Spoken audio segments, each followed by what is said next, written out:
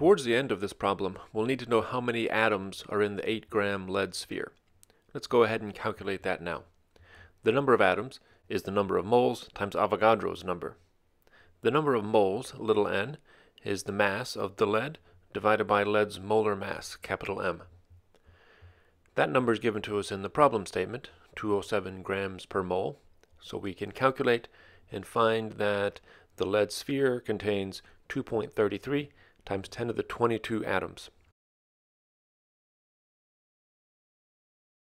Now in part A, we're asked to find the number of excess electrons on the sphere. That number, n sub e, is the excess charge, or net charge, divided by the charge per electron. That's minus e, where e is the fundamental charge. When we substitute those numbers and calculate, we find there are 2 times 10 to the 10th excess electrons on the lead sphere. Part B asks us for the number of excess electrons per lead atom call that n sub little a, and it equals the number of excess electrons divided by the number of atoms that we calculated earlier.